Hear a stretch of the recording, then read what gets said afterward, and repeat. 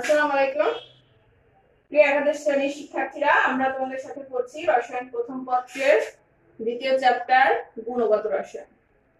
তো আমরা বিগত ক্লাসগুলোতে দেখেছি হাইড্রোজেনের বর্ণালী হাইড্রোজেনের বর্ণালী কীভাবে সৃষ্টি হয় এবং কি কি বর্ণালী আছে সেগুলো দেখেছি এবং সেই আলোকে রিডবার্গ ইকুয়েশন ইউজ করে আমরা গাণিতিক সমস্যা দেখেছি গত ক্লাসে তো আজকে সেই ধারাবাহিকতায় আরও নতুন কিছু গাণিতিক সমস্যা নিয়ে তোমাদের সাথে আলোচনা করব।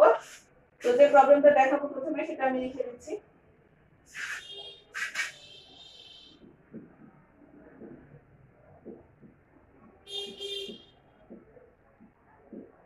হাইড্রোজেন পরমাণুর ইলেকট্রন।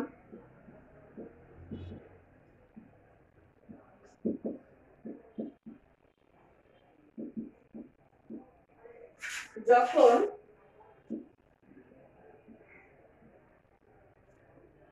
চতুর্থ শক্তি স্তর থেকে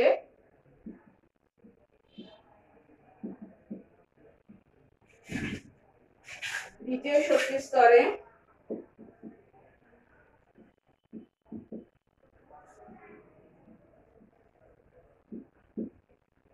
স্থানান্তরিত হয়।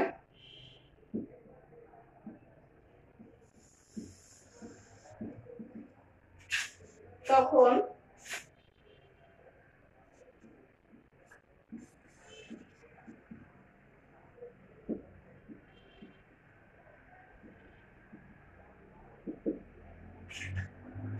তখন সৃষ্ট বর্ণালী রেখার তরঙ্গ দৈর্ঘ্য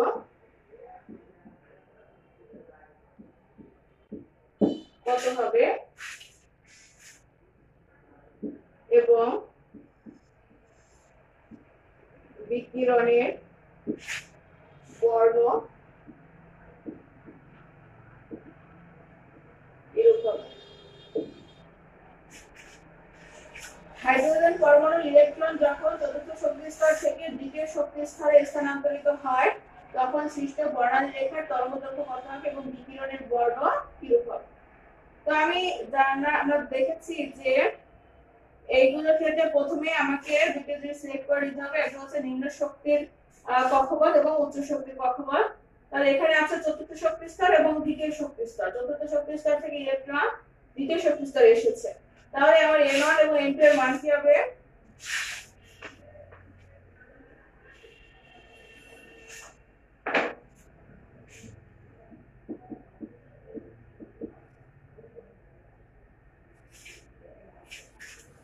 এখানে এন টু হচ্ছে উচ্চ শক্তির কক্ষপথ এটা হচ্ছে ফোর এবং এন ওয়ান হচ্ছে নিম্ন শক্তির কক্ষপথ এটা হচ্ছে টু তাহলে রিড কনস্ট্যান্ট আমরা জানি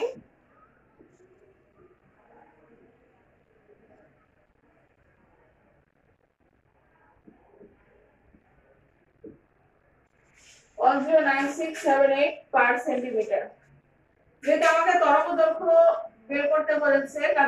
পারি one by lambda equals R X 1 by n1 square minus 1 by n2 square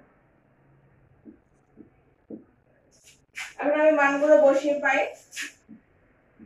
1 by lambda equals 109678 per centimetre one by two square minus one by four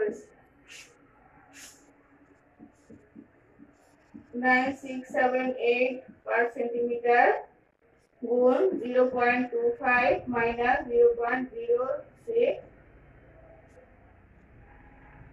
zero point zero six two five one zero nine six seven eight per centimeter into zero point one eight seven five তাহলে আমরা ল্যামডার মান পাচ্ছি 1 divided by 20564 into 625 centimetre তো এটাকে আমি ন্যানোমিটারে convert করে নেব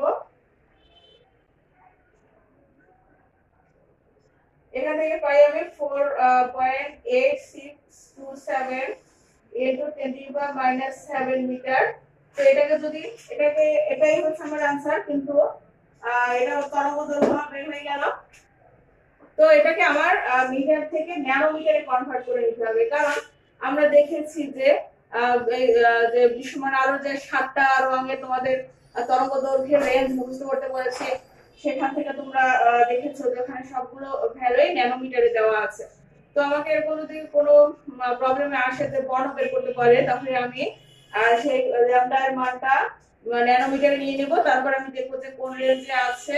আমি সেই রেঞ্জ থেকে আমি দেখব যে কোন বর্ণের রেঞ্জ সেটা, সেখান থেকে আমি বর্ণটা লিখতে পারব। তাহলে আমি এটা ন্যানোমিটারে কনভার্ট করে এটা আসবে four eight six point two seven nanometre. তাহলে ল্যামডার মানটা ন্যানোমিটার নিয়ে আসে four eight six point two seven nanometre এটার বর্ণ হবে আসমানি।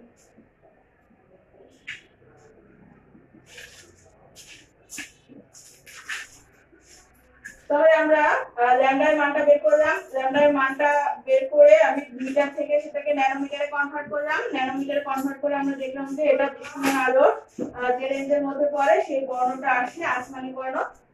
তাহলে আমরা এখান এই থেকে গাণিতিক সমস্যাটা থেকে একসাথে তরঙ্গ দৈর্ঘ্য বের করতে পারলাম এবং সেটা কোন বর্ণের তরঙ্গ দৈর্ঘ্য, সেটা বের করছি।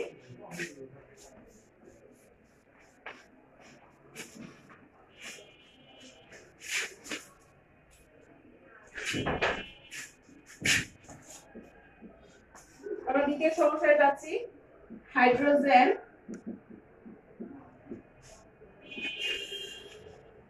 হাইড্রোজেনের পারমাণবিক বর্ণালী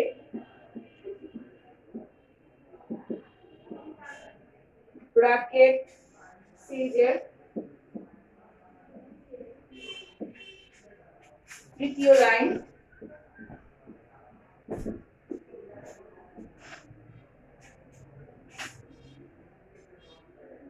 এর তরঙ্গ দৈর্ঘ্য তরঙ্গ দৈর্ঘ্য নির্ণয় করো। হাইড্রোজেনের পারমাণবিক বর্ণালীর ব্র্যাকেট সিরিজের তৃতীয় লাইন। প্রথমে আমি N1 এবং N2 সিলেক্ট করে নিচ্ছি।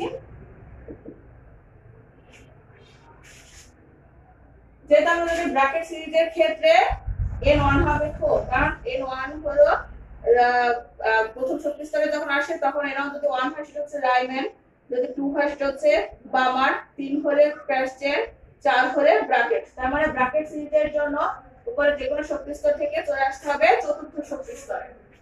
তাহলে N1 হবে ব্র্যাকেট সিরিজের ক্ষেত্রে 4 তাহলে 5 হবে তার প্রথম লাইন 6 হবে তার দ্বিতীয় লাইন এবং এখানে বলা আছে তৃতীয় লাইন তাহলে 7 তাহলে N2 হবে 7 তার মানে ব্র্যাকেট সিরিজের তৃতীয় লাইন হবে 7 তো এখানে রিডবার কনস্ট্যান্ট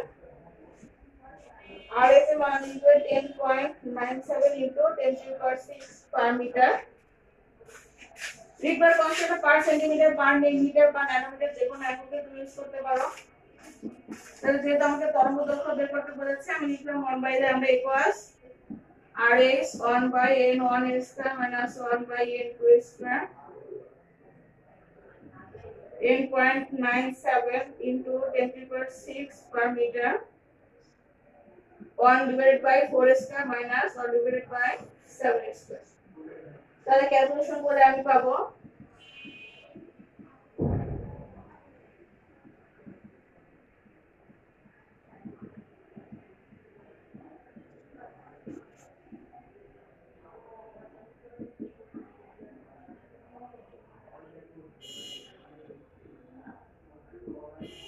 তাহলে ল্যামডার মানটা পাচ্ছি 2.1656 into 10 to power minus 6 metre এটাকে আমি ন্যানোমিটারে কনভার্ট করতে পারি।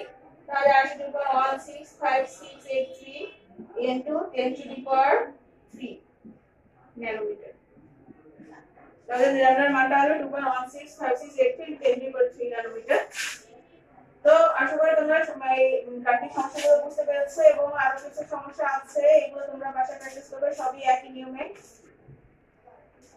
তো এরপরের কিছু প্রবলেমে আমি দেখাবো ফ্রিকোয়েন্সি এনার্জি সেগুলো কীভাবে বের করে, সেই সমস্যাগুলো আমরা নেক্সট ক্লাসে দেখাবো।